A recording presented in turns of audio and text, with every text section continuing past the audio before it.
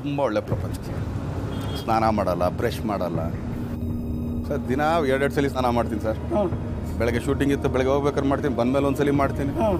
ಯಾರು ಸರ್ ಸ್ನಾನ ಮಾಡ್ತಾರೆ? ನಾ ಆ್ಯಕ್ಚುಲಿ ತೋಟದಲ್ಲಿ ನಾಲ್ಕು ದಿನ ಇದ್ದರೆ ಎಲ್ಲೋ ಒಂದಿನ ಸ್ನಾನ ಮಾಡಿದರೆ ಜಾಸ್ತಿ. ಬ್ರಷ್ಷೂ ಬ್ರಷೂ ಮಾಡಲ್ಲ ನಾನು.